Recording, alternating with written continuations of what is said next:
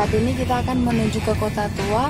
Kami bergabung dengan Gakum Polda Metro akan melihat bagaimana situasi lalu lintas di kawasan ini.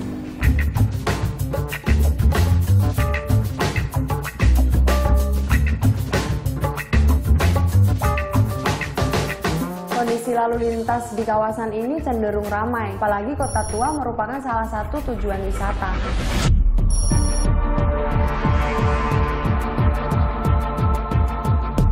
Tidak lama rekan kami pun memberhentikan seorang pengemudi. Siang mas, maaf mengganggu ya. Bisa dimatiin bentar mas. Nah, surat-suratnya mas.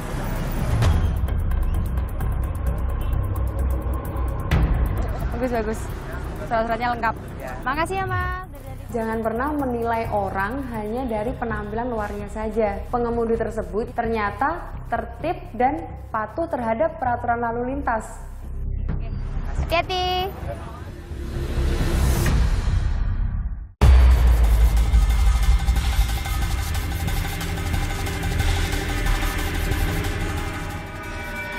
Saat saya melakukan operasi, saya melihat seorang ibu-ibu yang seperti orang marah-marah. Udahlah, lah, udahlah. Percuma buang-buang bensin doang. Buang-buang bensin Ternyata ibu ini marah karena ditilang. Namun marah bukan ke petugas tetapi ke suaminya. SIM aku udah ditahan, SIM aku udah ditahan, udah dibikinin surat, Surat uangnya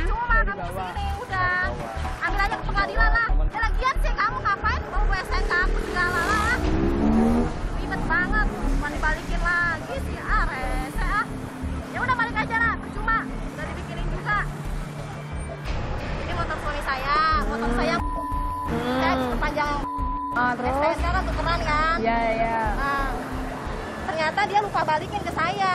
Oh, gitu. Nanti lain kali sama-sama ngecek ya surat-suratnya udah pada lengkap apa belum ya. Hari ini dia libur di rumah, saya yang kerja. Anak sama suami saya. Ah, rese jadinya kan. Ah. Udah, ibu tenang dulu dong. Kalau berkendara sambil emosi nggak baik. Tenang dulu, tenang dulu. Ada SIM saya juga punya. Iya, ibu. Saya dari 2011 punya SIM. Oh iya, bu. Saya selalu lengkap, cuma karena gara-gara ini doang dia sial. Ya. Seharusnya memang saat akan berkendara, pengemudi harus memeriksa kembali surat kelengkapan kendaraannya. Hati-hati ya, Ibu. Makasih ya, iya.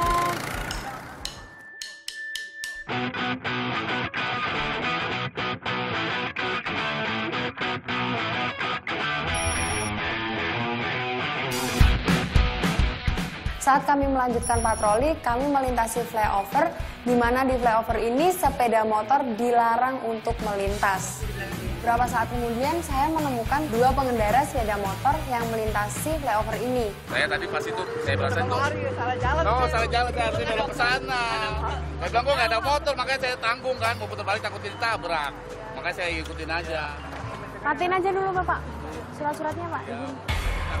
Bapak, lain kali anak-anaknya dikasih helm ya. Iya iya, oh bu, iya. Bahaya juga, Iya. panas juga Mohon, maaf ya bu ya. Anaknya. Enggak, saya juga curiga kok nggak ada motor lewat gitu. Untuk para pengemudi harus lebih memperhatikan rambu-rambu yang ada di jalan raya.